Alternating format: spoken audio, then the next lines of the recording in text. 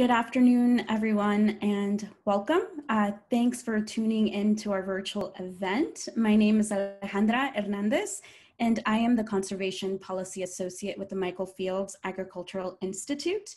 Michael Fields is based in East Troy, Wisconsin, uh, and we work to advance sustainable agriculture through research, policy, and education. Uh, we are so excited to have an event centered on the topic of dung beetles and the role that they play in soil and water quality and a farm ecosystem. So for now, I'm going to invite you to type in your name in the chat box um, so that we can all see where you're tuning in from as we begin. And again, welcome. The chat, if you go to the bottom of the screen, uh, there is a chat thing there and you can type into everyone. Uh, your name. And I've also put a poll up as well that folks can just uh, choose one of the options, whether you're from the Munt Creek Knights Hollow watershed in Iowa County, elsewhere in Southwest Wisconsin, or somewhere else. And so when you do that, it'll disappear off the screen and uh, go ahead and go, Andra. Yeah, thank you. Um, so this morning we checked registration and we just wanted to show you uh, the map that the couple of maps that we that we made um, showing the different registrants from all over the world. So dung beetles is a very interesting topic and we're so excited to talk more about that. Um, all our work is done in collaboration with various partners. Uh, so I wanna take this time to thank all our partners. Um, so we worked with the Uplands Watershed group, the Iowa County Land Conservation Department and UW Extension. And I want to give a special shout out to Kevin Erb, who is really helping us with a lot of the technology and has been a great collaborator. And in front of you, you see all these logos of different partners who helped us um, do a lot of our outreach work. So thank you again. So a couple of housekeeping rules. Please make sure that you keep your audio muted. Uh, you can use the chat box um, on your screen if you have any questions, comments, or technical issues. Uh, towards the end, we have reserved time for questions and answers. And so please, during that time, if you have questions for panelists, you can either type them out in the chat box or unmute yourself and ask the question yourself. Okay, great. So in front of you, you we want to set the context. So we are going to be visiting a farm in Wisconsin, and it's in the southwestern part of Wisconsin, which you can see in front of your map. And the Uplands Farmer-Led Watershed Group is found to the left of Madison. So on the lower right-hand corner, you see Madison. So the area that we're looking into is towards the west of Madison. You see a dotted line that says Mill Creek River. And so that's the region that, that we're focusing on today. So our Iowa County Uplands-led watershed group um, has an, a very interesting landscape. As you see with this map, it's super hilly, um, and, and we have the Wisconsin River right there to the north of the watershed. And so this means that, you know, a, a lot of our farms are dealing with, you know, soil erosion problems and, um, you know, are, have to keep in mind where the water goes since it feeds into the Wisconsin River, which ultimately lands into the Mississippi River. So for today, the agenda, we're gonna start with a virtual tour visiting Wonder Acres Farm and Sherry Nolden um, is one of the Uplands watershed farmers that will be talking about dung beetles and the way that she manages for dung beetles at her farm, followed by a how-to video on how to um, perform water infiltration tests on your farm and then we'll have Kevin Erb from UW Madison Extension talk to us about um, future types of events um, that we could have, and then followed by our panelists and question and answers. So I wanna give a quick introduction to our panelists. So first we have Katie Abbott, um, and Katie Abbott is a county conservationist for the Iowa County Land Conservation Department. She worked in Southwest Wisconsin for 14 years, helping farmers and landowners with conservation problems that result in healthier soil, water, wildlife, and communities. We have Landon Baumgartner, the conservation specialist for the Iowa County Land Conservation Department. He has also worked with the Natural Resources Conservation Service, implementing agronomic conservation programming after obtaining a bachelor's degree in environmental science. We also have Dr. Nadine Kriska. biology professor at University of Wisconsin-Whitewater. She is a beetle taxonomist with a background in Wisconsin scarab beetles, and particularly the natural history and basic ecology of the state's many dung beetle species. We have Sherry Nolden, a PhD candidate in animal and dairy sciences at UW-Madison. She's a farmer in the Uplands Watershed Group in Dodgeville, Wisconsin, where she integrates grass-based livestock production with wildlife and natural resource management.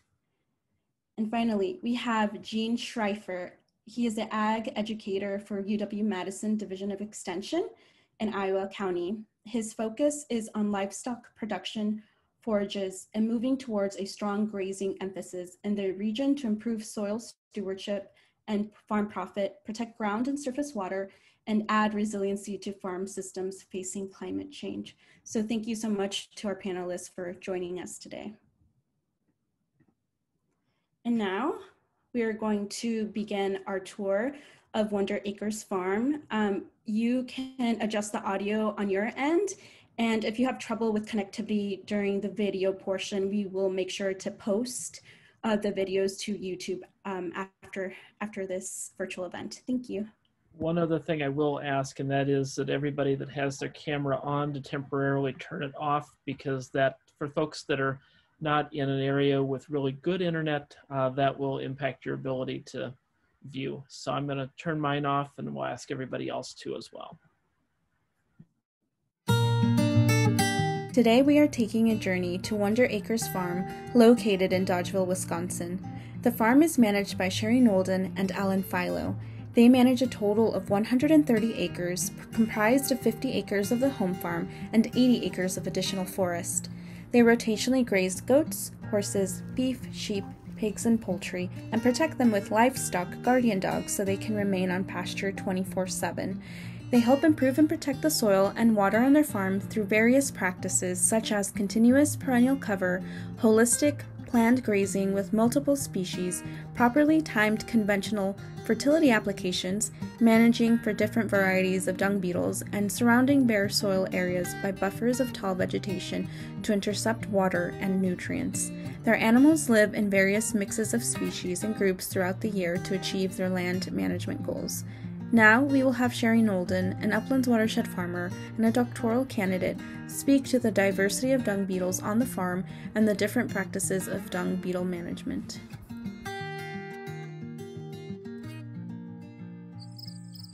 This farm was a cornfield or crop field before we bought it, so um, it was it was uh, actually in CRP and then um, into corn, and then we planted perennial pasture and just in managing our livestock um, with holistic plan grazing and um, minimal deworming to no deworming or only deworming during um, the fall into winter and not uh, destroying the, the food source of the larvae of the dung beetle. Um, we have the ability to attract and uh, maintain the populations of dung beetles that are here. And so the, the two main types of the three types of dung beetle species that are out there that we have here at this farm are uh, tunnelers and dweller species. We don't have the roller species. When people are collecting samples of dung beetles from a manure pat, they would grab the manure pat, stick it in a bucket of water, and all the dung beetles float up. So then you just sit and wait and watch the surface and look for beetles that are coming up to the surface. With management that, that promotes dung beetles, they can be beneficial for helping us cycle our nutrients, improve soil structure. They double their their activity can double the yield of forages in a system that has active dung beetles. Um, water infiltration rate doubles with dung beetle um, additions to the system. So they're very beneficial um, if we manage for them. And, and management includes avoiding um, the macrocyclic lactones that cause the larvae to die um, when we're deworming uh, livestock and managing deworming so that they're dewormed in the winter instead of the summer here in freezing Wisconsin. Um, and for the dweller species, these species that um, that live their entire life cycle in the manure pat, not disturbing that manure pat for the entire four to six weeks that it takes for them to, to emerge into an adult is important. And um, that can be done if you have a shorter rotation than that by having the same species come through because they're going to avoid their own manure places. Um, or if you have longer rotations, that can be um, managed that way. And some species will uh, live for a couple years, other species only a few months. Their activity is seasonal for different species, so throughout the summer we see different species rise and fall. And I, I think what I've seen, the the um, hydrophilid beetles definitely are more active when face fly season is crazy going strong. So because that's their food source. So they they explode when the face fly population explodes, which causes face fly population to decline, which is great for our livestock. Those are the three main beetle species that we have on this farm. Um, the most abundant and uh, active among all the different species. And so this is a dweller species, this is a dweller species, and this is a tunneling species. Um, and they all do different things. This one and its um, larvae eat manure. This one eats eggs and larvae of pest fly species, and this one buries manure um, and helps with nutrient, even more nutrient cycling than the other species on the farm here. Um, this is the scavenger species of dung beetle that um, that we often find running very quickly through the manure paths, and this is the one that eats the the larvae of this insect eat larvae and fly eggs from face flies and horn flies, and so they're a very beneficial species. This is a what's considered a hydrophilid beetle, meaning that they live in the manure pat and they complete their entire life cycle in the manure pat. Um, they don't leave it, so if the manure pat gets disturbed while their life cycle is happening, they're not going to reproduce very well. They can have kind of red spots on their side and a little bit of a gold color on their rear end and kind of a black, shiny, really smooth body. Um, they're very numerous here. This species is Onthophagus hecate is one of our tunneling species. This species is good for soil health because it takes the manure, digs a hole under the manure pat, and buries manure in the soil while doing bioturbation, bringing soil up from the surface and improving soil aeration. It's burying organic matter, it's burying um, nitrogen and all of the components of the manure. It lays its egg in um, each little dung ball that it uh, places underground, and there's some actual parental care that is provided by some of these beetles too um, for their offspring. The male has a little bit of a horn on the, the front of his thorax, whereas the female doesn't. Any farm that manages for them should be able to get them to arrive and benefit from their activity um, on the farm.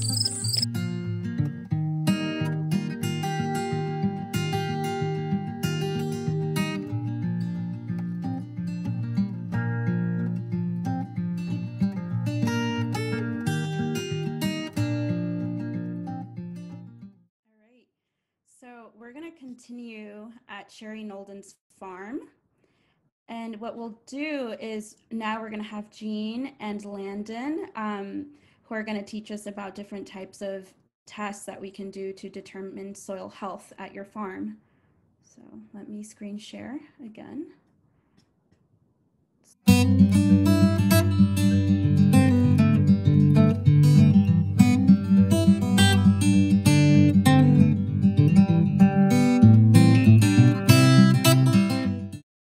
I'm Gene Schriefer, uh, ag educator with University of Wisconsin-Madison Division of Extension. I'm out in Iowa County and I work with the uh, local watershed group. And today we are demonstrating some of the tools that are included in the soil health test kit.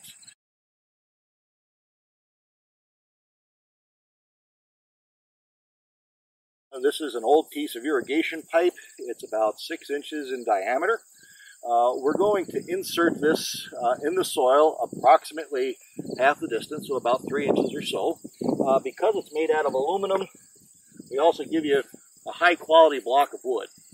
Uh, and with this, we're going to put that on top and then uh, also have a rubber mallet, which will allow you to pound that into the soil to the appropriate depth without bunging up this edge and peening that over. So I've put that in as evenly as I possibly can, and I've pulled out some of the excess debris inside the infiltration ring. So we've got our ring here. Um, then we have to add uh, the equivalent of about one inch of water. Now, we, have recently had rain. Uh, if we haven't had rain in the last few days, we would normally wet this first and allow that to sink in. Once there's no more water present, then we're going to measure and time that second application of water. So for six inches, one inch in a six inch circle translates into about 444 milliliters. And I can't, see, I've got it marked. I can see that on my graduated cylinder, but that's how much water is the equivalent of one inch in a six inch ring. Now we're going to and we are at 444 milliliters. Now, one of the things that we also do, besides removing debris, is we're going to just put a small piece of plastic wrap. This is also in your kit. Uh, and this is to really, we're trying to get a true measurement of what it might be for rainfall. We don't want to disturb the soil by dumping this in very hard or very fast because that might disturb the soil and influence the rate of infiltration rate. So we're going to put this in gently, remove that, and then we're going to have uh, a stopwatch. Um, our water infiltration test begins by dumping that in. 440 milliliters in that 6 inch diameter. And then we're going to pull that and then hopefully quickly turn on the stopwatch. And we're going to say stop see that entire uh, one inch equivalent of water infiltrate.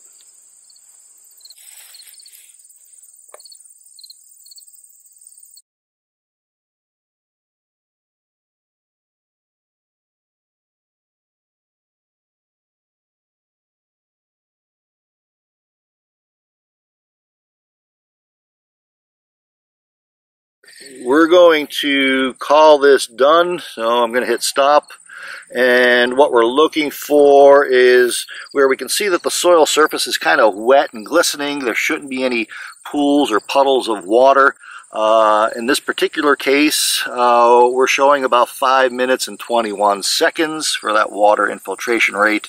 So we could take that information and we could actually calculate what a inch per hour rate would be.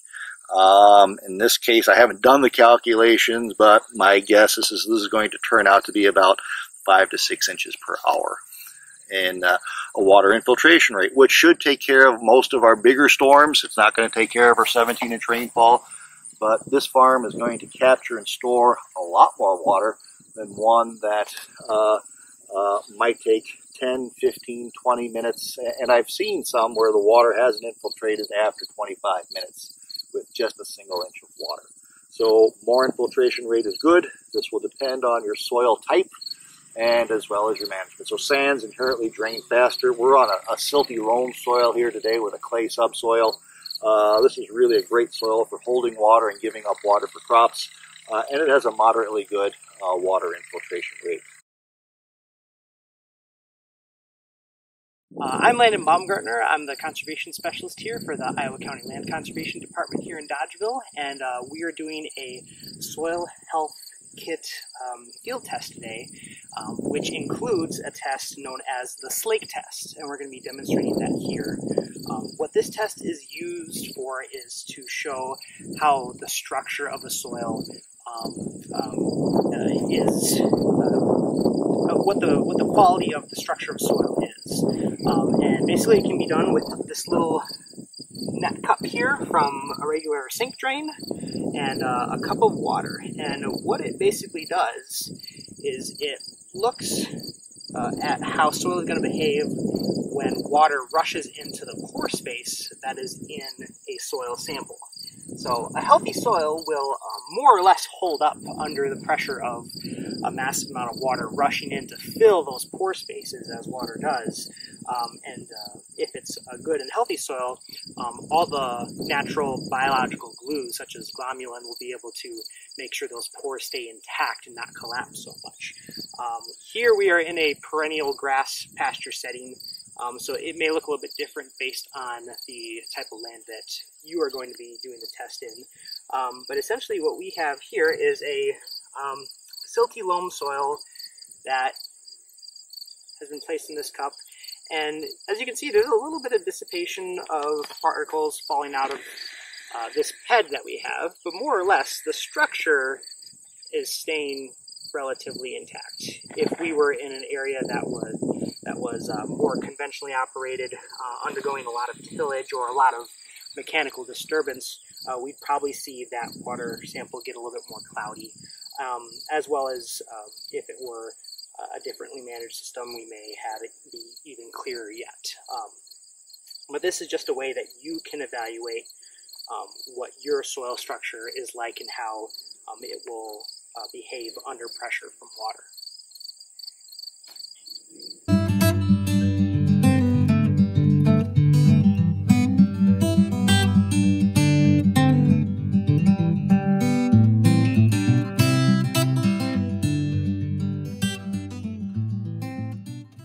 Great. So that concludes our trip to Wonder Acres Farm. Thank you so much, Sherry, Gene, and Landon. And so now I will um, let Kevin Erb take it away so he can share a few words with us. And, and stop screen sharing here so that I can as well. So I do want to thank everybody for being a part of today. What we've talked about here for the past couple of minutes is really Sherry's experience with dung beetles, what she's found on her farm with some of the native species that have been there, and um, then really talking about soil health and what that means and two simple tests to really get at um, soil health, uh, really evaluating soil health on your particular farm. So I want to take a couple of minutes here uh, talking, how do we take today's lessons of improving soil health and managing dung beetles into our own pastures and say, you know, is this really making a difference? We're going to get into that here in the panel discussion, talking about dung beetle management. But part of the reason that I'm involved and engaged in today's session is that we have funding through the DNR's Nine Key Element Watershed Program, including Munt Creek and Knights Hollow, to do soil health training and testing for those that farm and live in and around those watersheds. And one of the things that you saw both Landon and Gene using is the soil health test kit. We do provide those um, as no charge as part of the training program that uh, we do put together. And so our plan had been obviously before the pandemic to do that uh, here in 2020 we're looking at doing that in 2021. And so if you do farm in and around those watersheds and have an interest in learning more about soil health management and getting one of these kits, you can see a photo there on the right, but we do include a compaction probe, uh, infiltration test um, components like you saw Gene demonstrate, and the tailgate slake test as well. And there'll be a number of these in nine key element watersheds around the state where if you farm or live in and around those or consult or work with an agency, you can take part and get one of those kits. In the meantime, though, we're here in the middle of winter, we're in a pandemic. We do have four online soil health training classes available free at no charge. There's an introduction to soil health, one focusing on cover crops, one on how do you improve the ability of the soil to hold water uh, in dry times and let it get out of the root zone in wet times, and then holistically looking at a systems approach to soil health management systems. And so if you're interested in that, I would ask you to put your name and your email in the chat box.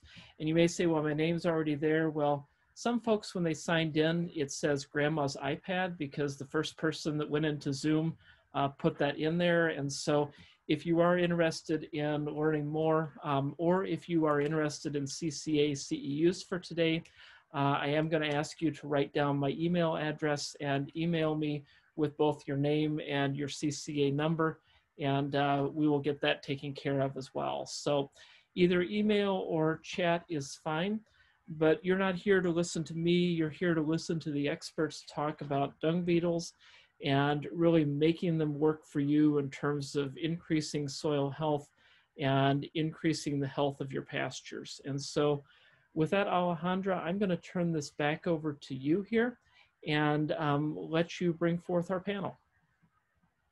Thank you so much, Kevin. So yeah, so now we're going to hear from our panelists. This is a very exciting time. And our first panelist will be Dr. Nadine Kriska. So I welcome you to open up your video um, and unmute yourself, Dr. Nadine. Hello. Hi, hi, thanks for joining us. So, Dr. Nadine, in the in the video, we learned that at Wonder Acres Farm, we find tunneler and dweller species. So, what are different types of dung beetles that we find throughout Wisconsin, and how are the species distributed across the country?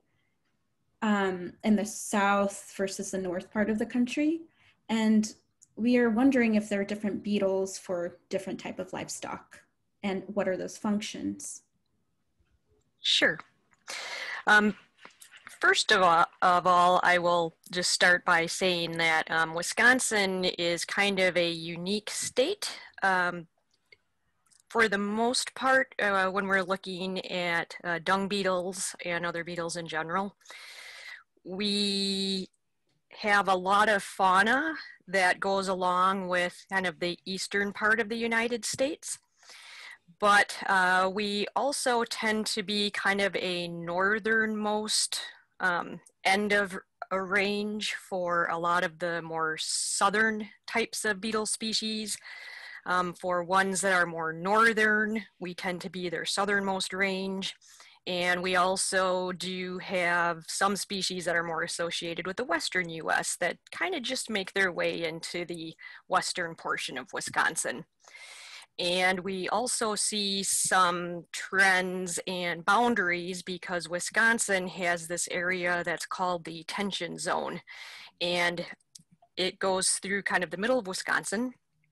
And it's kind of a demarcation of where we find the southernmost range for a lot of species, including a lot of plant species, and northernmost ranges for a lot of the southern plant species and other species. Um, so with the dung beetles, we certainly have um, a lot of native species and we do have tunnelers, rollers, and dwellers. Uh, we also have several introduced species, mostly European species, and a lot of those are the dwellers and a few uh, tunnelers. So as far as the um, roller dung beetles are concerned, we don't get a lot of um, species. There's maybe about five species that occur here, and they're not in very large numbers. And depending on the species, um, we find that a lot of them are actually occurring just a little bit north of, um, like kind of down into the tension zone, just kind of hovering above it. Um, there is a species that is found in more of the western part of the state, but um, again, it's not very common. So out of all of the dung beetle species, uh, the rollers are the ones that you would be least likely to encounter. Um, there is one species, it's called a melanocanthon. It's kind of a um, little medium-sized black beetle that is a roller. Out of all of them, that might be one that people may encounter out there on occasion. Um, for the uh, dwellers and the tunnelers, um, that again is where we find most of the beetle species that would be occurring in pastures. And um, as far as just among those different species, how they compare to kind of northern versus southern species of dung beetles in the US, um, the big issue in Wisconsin is that we certainly have this issue of climate and seasonality. So we have um, rather cold winters. So most of our species are not going to be active during those especially cold winter months.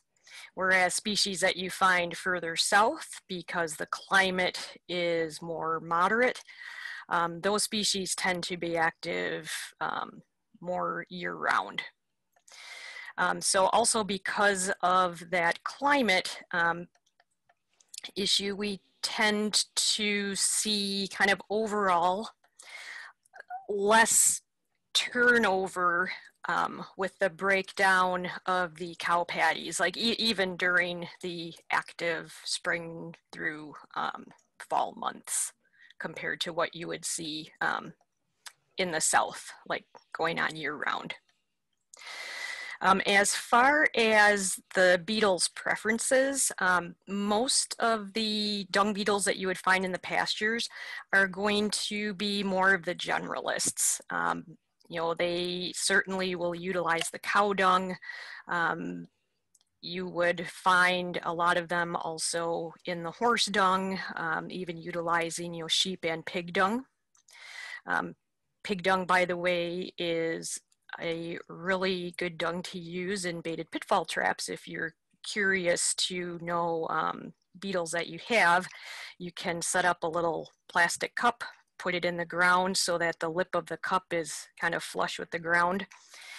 Um, add a little bit of pig dung into a small container, kind of find a way to hover it over the cup and over a couple of days, you can kind of monitor what's coming in and falling into the cup.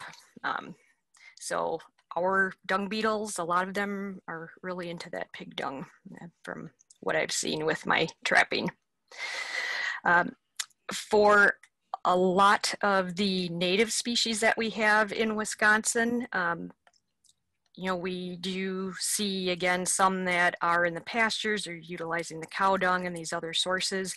Um, we do have some native species that, you know, they are pretty specific, but they're not going to be specific to the cattles or horses so much. Um, they're more into things like deer dung or they're really specific. You might only find them in squirrel nests or utilizing owl pellets. Um, so again, for our um, most common pasture species, um, it's a lot of the tunnelers, which are the kind of smaller sized species, and they'll spend their entire lives just in the paddy. And they're right at the kind of bottom of the paddy and the interface of the paddy and the ground.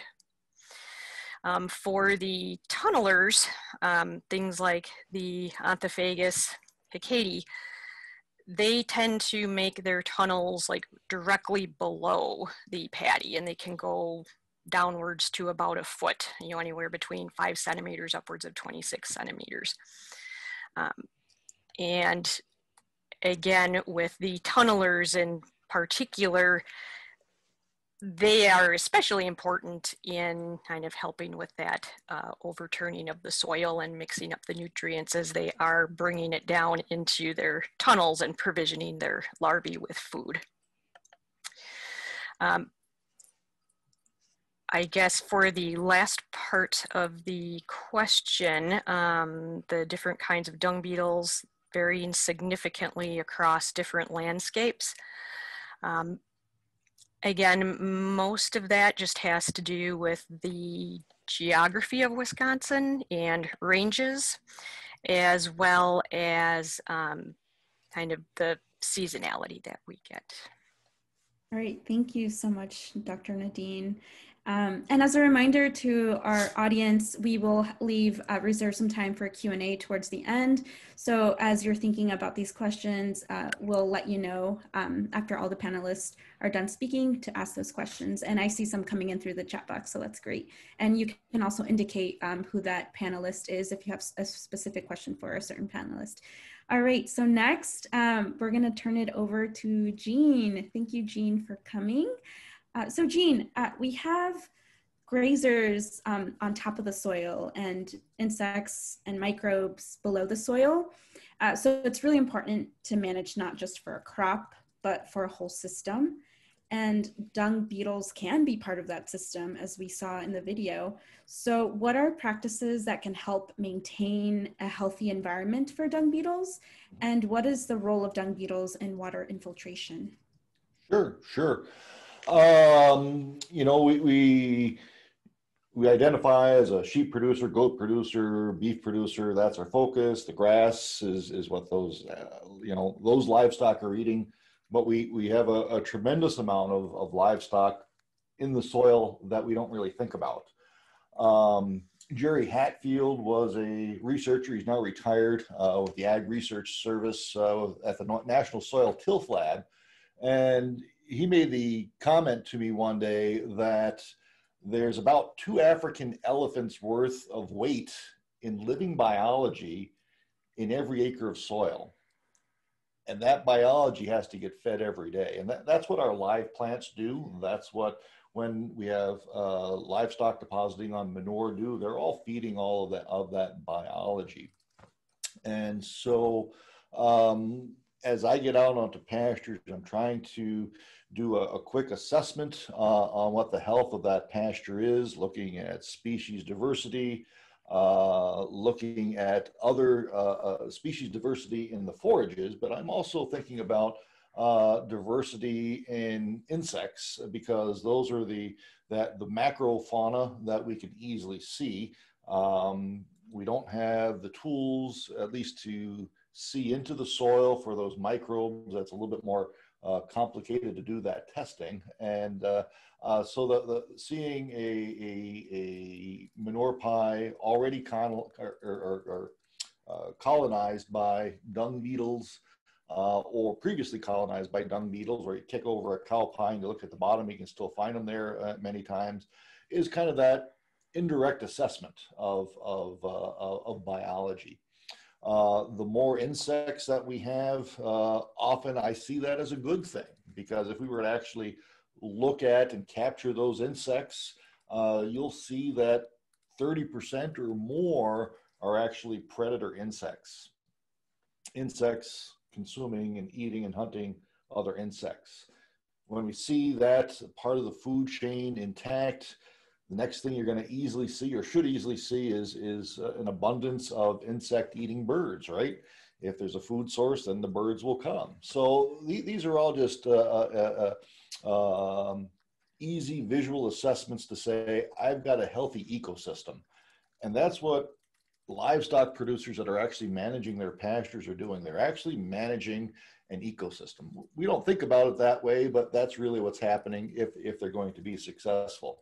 So for the dung beetle, um, again, they're, they're kind of an indirect assessment. Uh, we know there's other beetles there. There's other of those macrofauna there. Um, when we've got a healthy soil or we're trying to get healthy soil, uh, soil is actually only about, should be only about 50% solid material.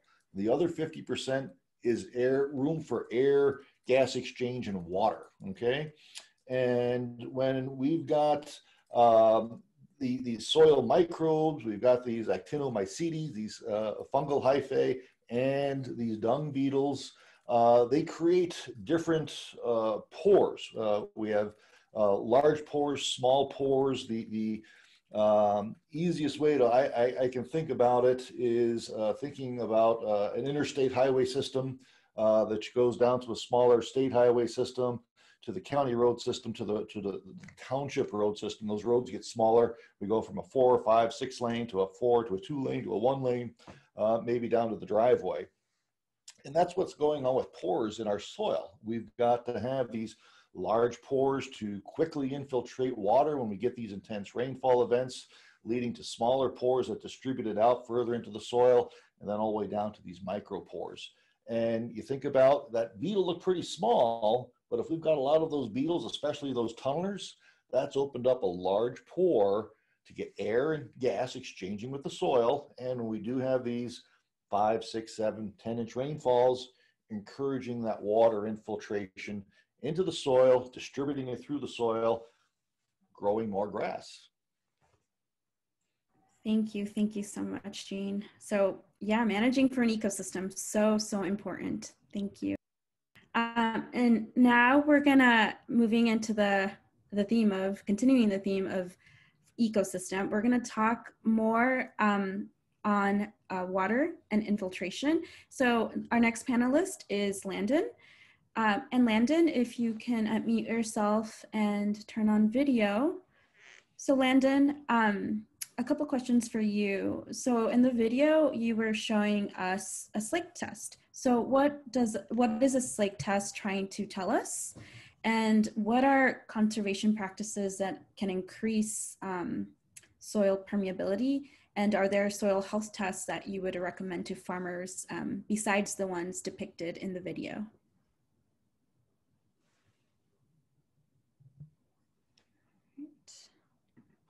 Do we have, oh, oh Landon, I believe you're muted. Yeah, okay, he's calling in. Okay. I, I can handle the question if you want me to, if you want to keep going. Uh, yeah, sure. Yeah. I...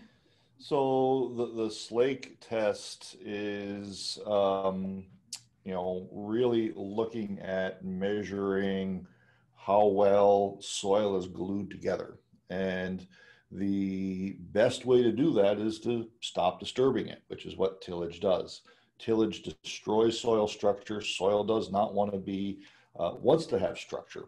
And so as we disturb soil less, uh, those root exudates uh, coming from live plants are feeding uh, actinomycetes. These are the fungal hyphae that are colonizing, reaching out their hyphae through the soil, bringing nutrients and water to the roots of the plant. And one of the things that those hyphae uh, excrete is a substance called glomalin, which, as Landon explained, is um, like a soil glue. And as that glue uh, exudates from the soil hyphae, it glues small pieces of soil together. And then those small pieces get glued together into larger pieces. And as we do that, as you compact the small area, we wind up with that pore space. You know, that's the, those micro channels uh, that uh, um, uh, water and air are able to infiltrate through. So the slake test that uh, Landon was demonstrating um, really is showing how much glomalin is present in that soil, how well in the presence of water and moisture that soil holds together and or doesn't hold together.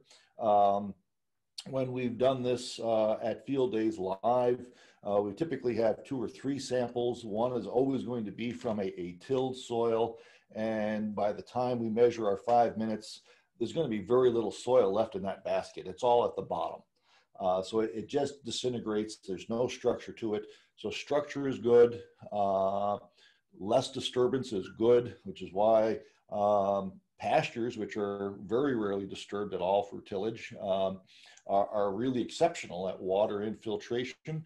And the idea of green growing plants feeding soil biology, including those fungal hyphae, uh, is really an essential part of, of, of uh, uh, uh uh, establishing that uh, soil structure. And that glomalin is, is actually, it's a polysaccharide. It's actually a, a, a carbon source. So in the, end, in the end, it gets broken down and becomes feed for some other biology. Awesome.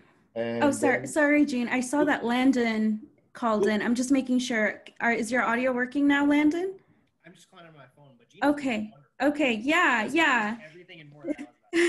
Great. Landon, after Gene, do you want to talk about what uh, health tests that you would recommend for farmers? Yeah, that's fine. Okay, great.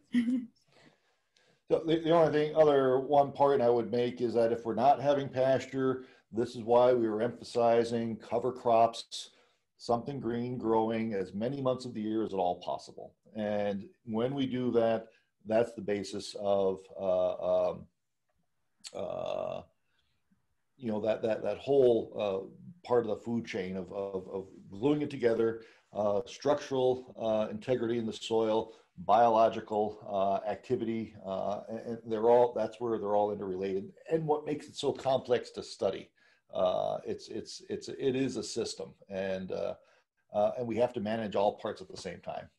Great, thank you. Thank you so much for that, Gene. Okay, so now, before you uh, turn over to Bruce here, just letting people know we've got about eight minutes mm-hmm. before mm -hmm. um, we're going to wrap things up. A few of us will stay on afterward. We know that people may have a one o'clock meeting, got to have time to go to the bathroom, grab a snack or whatever. So we're going to try to wrap up the main part of the program here at about five minutes too, but we'll stick around to answer a few questions.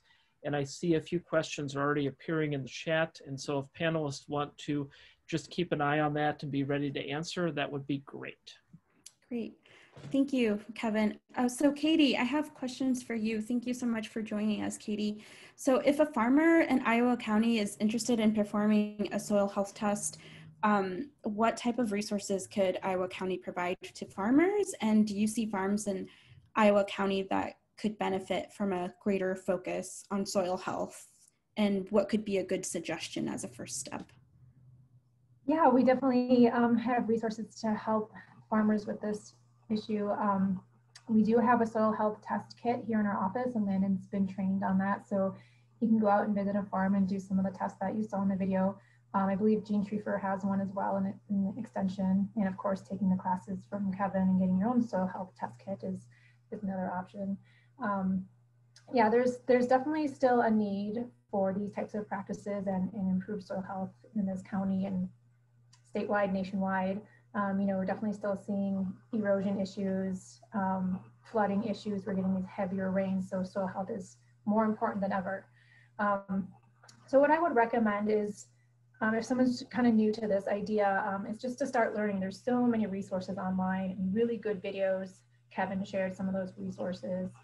Um, once we start doing field days again, keep your eye out. There's always a lot of field days going on where you can hear from farmers who are doing these practices um, join a farm led group or start one if there isn't one in your area. And then you really get that peer learning that's really valuable. Um, and then after that, you know, do some basic soil testing, create that, that nutrient management plan, do some of the soil health tests that Landon talked about um, to see where you're at right now with the practices that you're doing. And then I would recommend talking to land conservation staff. In other states, they might call that the Soil and Water Conservation District. Um, talk to university extension staff. Talk to your agronomists, talk to your fellow farmers and your neighbors and see what's going on. Um, the Natural Resources Conservation Service is also another good resource to contact um, to learn about what options you might have and the changes that you want to try to implement on your farm. Um, and then after that, um, maybe think about some cost sharing. So the counties and the NRCS have money for cover crops, for no-till, for things like that to help you get over that first hurdle of just getting started and um, you know helping get over some of those initial costs. Um, so those are you know what I would recommend for some, some first steps. All right, thank you. Thank you so much, Katie. Um, and next we'll be hearing from Sherry. We have a couple questions that were submitted during registration. So Sherry, some of the questions that we got are, can you hurt dung beetles when you're reseeding pasture? what is the impact of chemical dewormers on dung beetle populations and what are techniques for attracting dung beetles? Yeah, so um, reseeding pastures, if there are active um, or recent dung piles in that area that you're interseeding, um, you can disturb the dweller species that are in there, but within three to four days of, of a manure pat dropping, the um, majority of the adult beetles will have flown off to the next fresh manure that's out there, so they're not going to be highly disturbed by that. The dweller species that are in the manure pats, if you um, drag those manure pats out, um, they will they will not be able to complete their life cycle, and a lot of them, their larvae is predatory on the face fly and horn fly larvae. So keeping those um, those dweller species, especially the hydrophilids, um, which have been very active at our farm, uh, there to eat those uh, larval species, larval forms is really beneficial. If you're reseeding a pasture from, say, a crop field or something, there's not going to be dung beetles there anyway because they're they're attracted to fresh manure. They're not attracted to anything that's old or um, even spread manure from a barn. They're they're really not going to be likely um, going for that, certainly not for compost. So minimal there. Um, dewormers, I can share my screen here. Um, there's uh, certain types of dewormers um, are detrimental for dung beetles. Uh, the ivermectin, the, the macrocyclic lactones are the, the types that tend to be the most problematic, where ivermectin is the worst one, but doramectin and eprinomectin are also bad. Within the macrocyclic lactones, the moxidectin class is not um, so much of a problem with and for the dung beetles.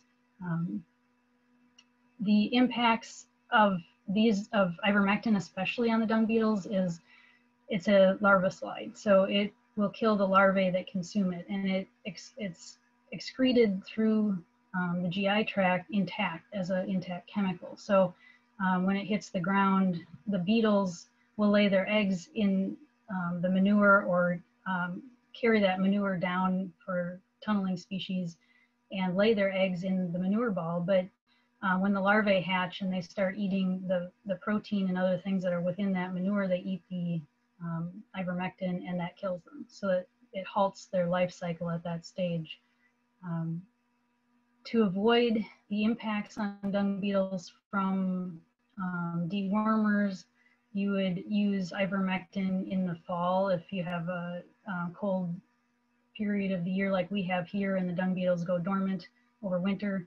Any manure that's dropped after um, the weather's gotten too cold for them to uh, be active isn't going to affect the dung beetles. Using um, some of the other chemical dewormers during the summer, if that's uh, desirable in your system, is a way to approach that also um, to keep those dung beetles alive um, and providing all of the um, the opportunities for those dung beetles to be active at the farm um, by not spreading the manure, like leaving the piles of manure, especially for the um, species that are uh, dwelling species that need that between two and six weeks, depending on the species, uh, for that manure pile to sit in place to complete the, the full life cycle um, is beneficial for keeping those ones there even without um, ivermectin in the system. And then um, you had asked about uh, technical um, ways of keeping dung beetles in the system. Yes, and attracting. Hmm. I will stop sharing since this is not moving forward. Um, try just doing it this way. Okay, so um,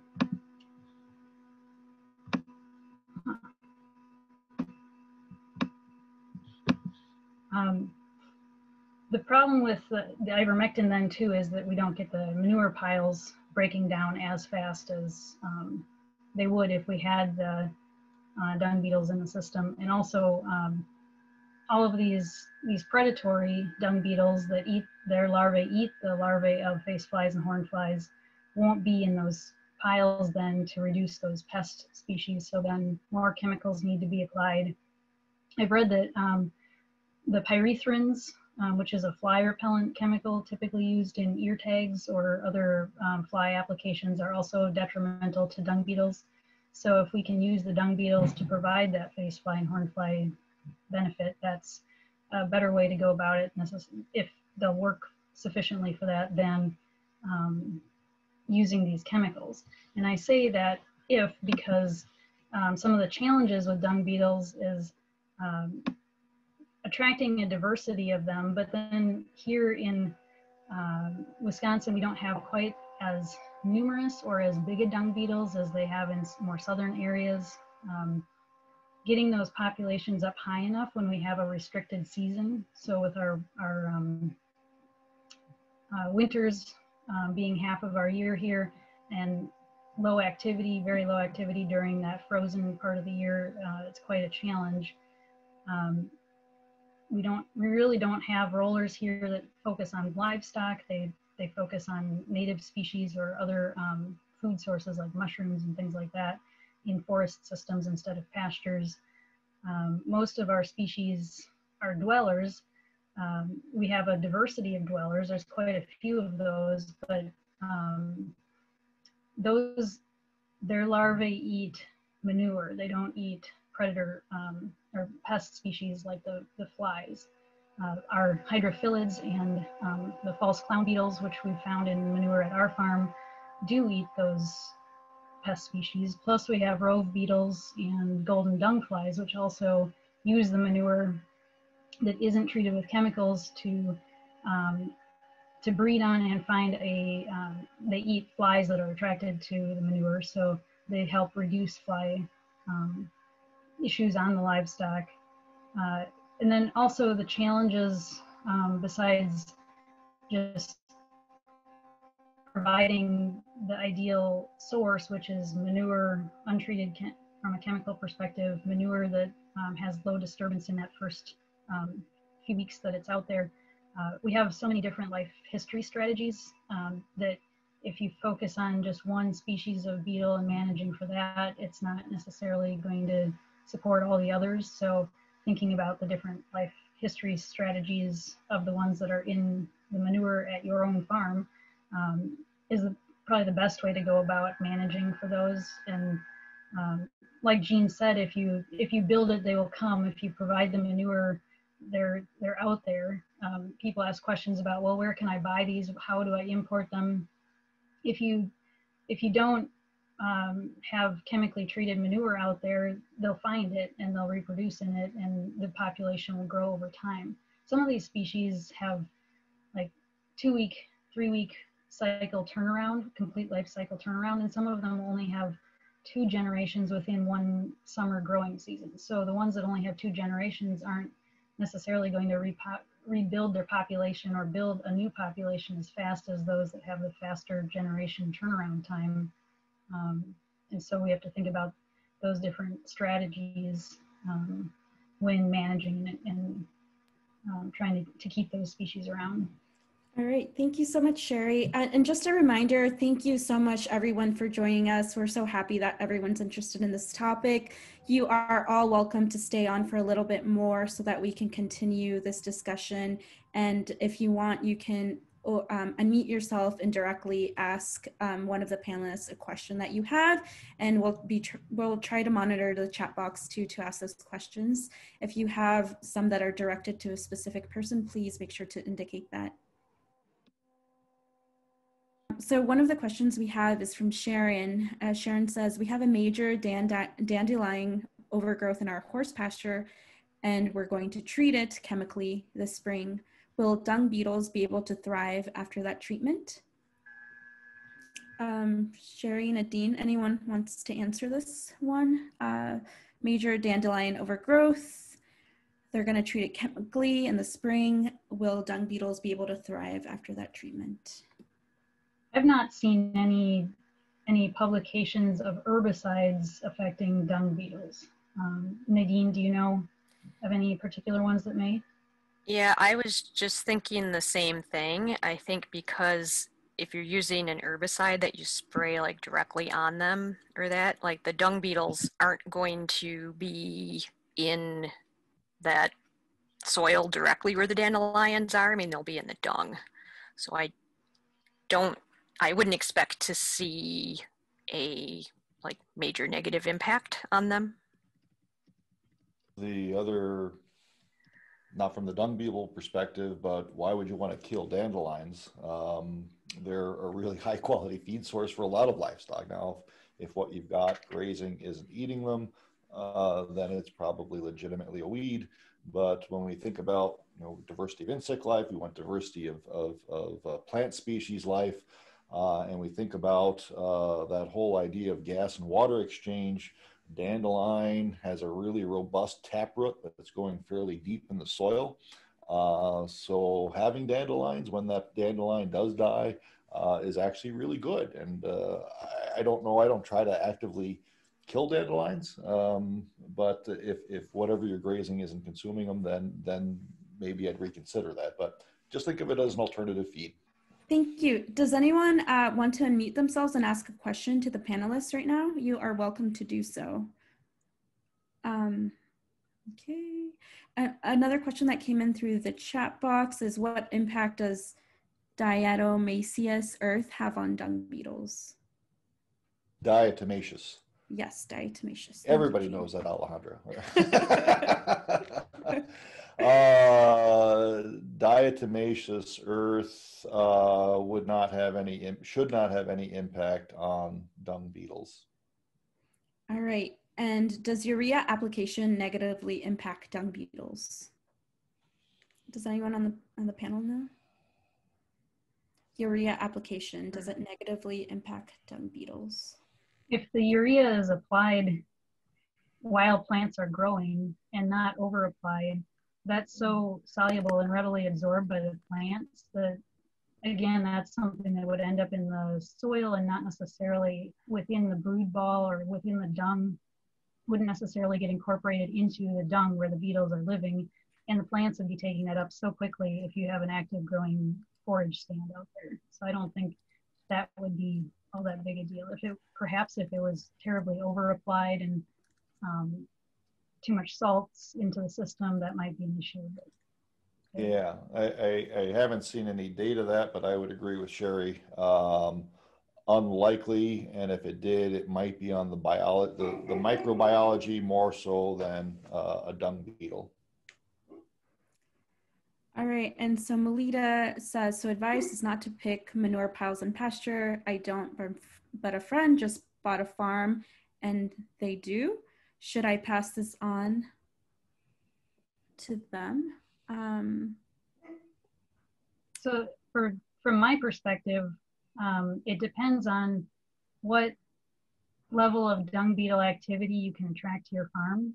Um, I, in looking at the videos and things from Australia and other places, um, even in southern United States, the um, these larger beetles and the huge populations that they get in those areas um, are different than what we have up here. And so our dung manure, our manure pats don't disappear as fast as what they do in more southern areas. And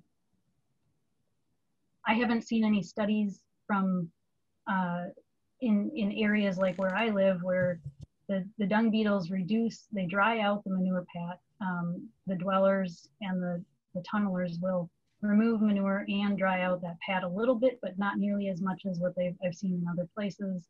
Um, it's really, there, there haven't been studies that say what percent reduction in pest species, pest fly species and other um, undesirable species that are attracted to the manure, um, how much they're reduced up here with the level of activity of dung beetles that we have up here compared to um, the charts and graphs that I've found in publications from other places around the world. Um, there's there's the that aspect of spreading manure is is disturbing the habitat for the dung beetles, but then also spreading manure is for um, distributing uh, manure and nutrients across your pasture. And through livestock management by um, rotationally grazing, inten more intensively managing the livestock with smaller areas and a larger number of areas um, that you're rotating through, those animals will distribute their manure more evenly across the land, and those dung beetles uh, will help integrate that manure um, into the uh, soil system. All right, thank you. An another question that we received is, what is the relationship between chickens and dung beetles? So chickens and dung beetles. They'll definitely eat them. We we uh, raise chickens. We rotate the chickens with the horses and uh, goats and sheep and cattle, pigs. Uh, where they have access to the manure, they eat the the dung beetles just like they would eat any other insect out there. But the wild birds do the same thing, as do bats and small rodents. Um, in the areas that our chickens don't get to. So our paddocks are long, fairly long in shape, and the chickens don't wander out that far.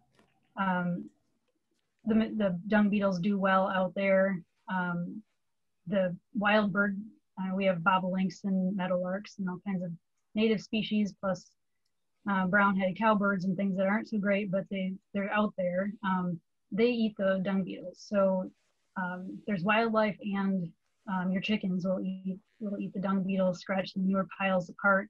If you hold the chickens back for three to five days after the manure is dropped before you let them have access to it, the majority of the adult dung beetles will have come in, laid their eggs, dug their tunnels, and left and gone to new manure. So then then those chickens can scratch it apart and eat the larvae of the face flies and various other things that the the um, predatory species would of dung beetle would be eating. So they'd be competing with those predatory dung beetles for the fly larvae. But um, they're also your chickens then are also spreading that manure pile out and and being another biological form of integration of the nutrients back into the soil system. All right, we got another question in the chat box from Dale. Dale says, I'm on my second year of perennial grass and legumes after the land was row cropped for over 20 years. I haven't noticed any dung beetles yet. Anything other advice that was not mentioned yet to attract them? I mean, I, I would say that if there is dung present, the beetles will definitely find it. Um, so that's kind of the main thing is just, you know, the dung being out there. Um, again, depending on like if you have cow patties, one of the easiest ways to determine if you have the dung beetles is to look for little holes that look like they're kind of drilled in through the top of like a crusted over uh, cow patty. That would indicate that you have um, dwellers and even um, possibly tunnelers that are present.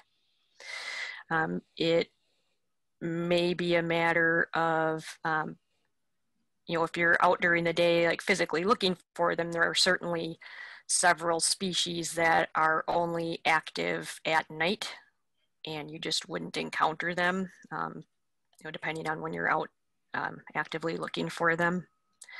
So it's likely that, you know, things are present. Um, it may be that uh, you might see a kind of gradual um, shift in species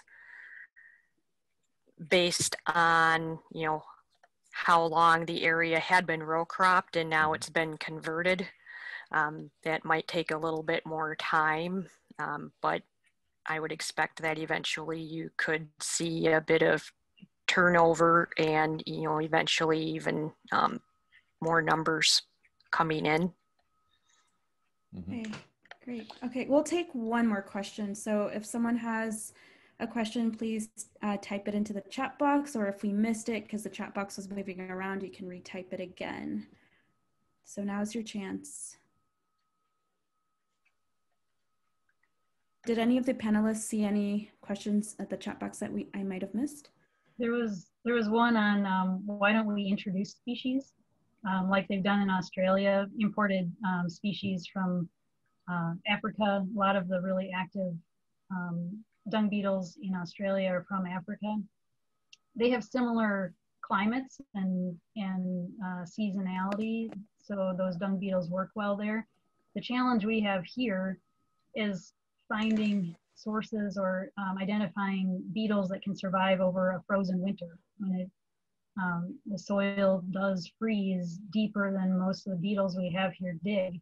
Um, so trying to find species, I would love to have more species here and, and larger populations, but I haven't found anything out there. Um, there's a group called Dung Beetle Exchange on Facebook that's very active in this uh, area. Plus, um, they have a propagation group, so you can join that and, and learn how to um, propagate and collect and um, find people who are also as passionate about dung beetles as the rest of us are. Um, and hopefully find some species that are adapted to your area. And the ones we have here are adapted here. Finding more that are adapted has been challenged for us, which is why we haven't uh, imported any. I mean, in the southern US, there is the imported um, Digitonthophagus gazellus, so it's kind of related to our dwellers, the Onthophagus group. And that one, um, you know, it's adapted to a warm kind of year-round climate, and it does a really good job, especially on the large, like CAFO types of places, and just in dealing with the cattle dung and turning it over pretty quickly. Um, unfortunately, with our winters up here in the seasonality, um, it just wouldn't be a practical species to maintain up here. Like it would likely not be able to survive our winters. All right, thank you. So we're just going to wrap up our questions. Um, thank you so much to our panelists and thank you so much to everyone who attended. If you have any more questions, I can help facilitate contact with our panelists. So I did type in my contact information in the chat box. It's a hernandez at michaelfields.org and I'll try to compile more questions and, and um, get it to the appropriate uh, panelist. Um, but thank you everyone for sticking on. And this has been such a fun topic. It's been so much fun to learn about dung beetles. And I was so surprised to see them in Wisconsin. And, and, and, and it's great. It's so great to see them and how they are an indicator for a really cool and healthy farm ecosystems. So thank you so much for, for, for your time and your attention. Thank you. Thank you.